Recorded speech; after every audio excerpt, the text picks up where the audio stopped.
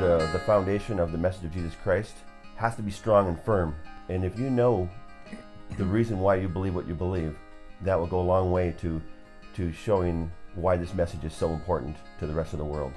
It's hard sometimes to convince people that support work is needed until you come to Papua New Guinea. And then you realize, no, you can't just jump in the car and drive to the next location.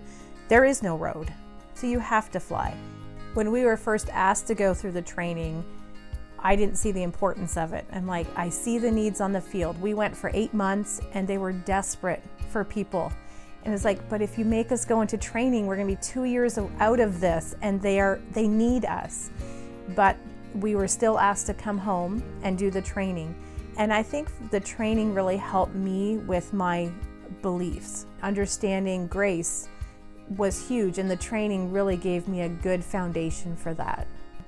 Yeah, I guess one of the, the sad commentaries of the, the mindset in North America is when I share what God's been doing across the world and how it's been such a joy serving Him there and stuff like that, and just, yeah, the different things that I've been experiencing.